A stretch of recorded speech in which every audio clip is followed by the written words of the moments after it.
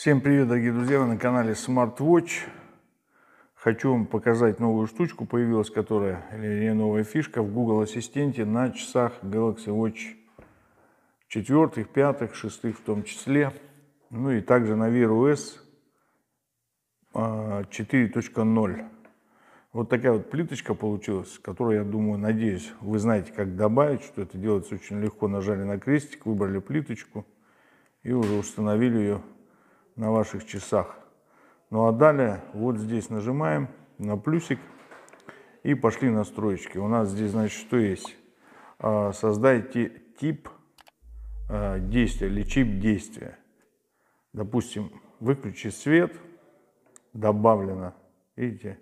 Дальше следующий будет также, поехали там, установите таймер на 5 минут. И все это будет у вас здесь, видите? Все, вот два штучки у нас установлено, и они будут постоянно. Не надо что-то делать. Либо вы сами что-то можете сделать уже здесь, а, задав голосом. А, так я и понимаю, что и перенастроить это тоже все дело можно. Убрать или по новой сделать. Давайте посмотрим, как это сделать по новой. Да, все, видите, если вы его сбросили, то появляется новое уже и поехали опять. Здесь можно там для голосового ввода требуется доступ к микрофону.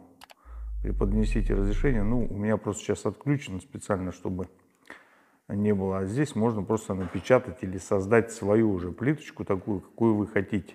В данном случае, как вы видели, здесь есть предустановлены они. Установить будильник на 7 утра, отправить сообщение, включить свет – и так далее и тому подобное. А здесь вы можете сделать самостоятельно.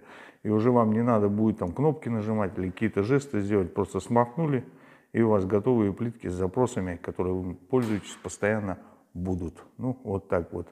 Не забываем подписываться, телеграм-канал, все в описании видео. Пока.